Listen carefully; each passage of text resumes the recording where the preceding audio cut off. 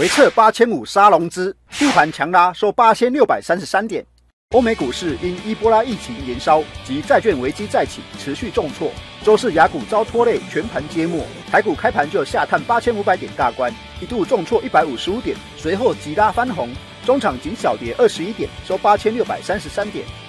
护盘拉出百点下影线，增添后市反弹动能。目前来看的话，呃，大盘的这个日 K 线也出现一个比较明显的一个下影线，那可以说指标 K D 指标跟指数呈现背离的一个情况，所以短线上指数在呃八千块点附近有试图止稳的一个状况。市场预期大力光及台积电法说将释出利多买盘卡位，大力光大涨一百零五元，重回两千三百元，深陷黑心油疑虑的南桥，本澳洲官方背书可食用，股价也从跌停拉升，大涨两元。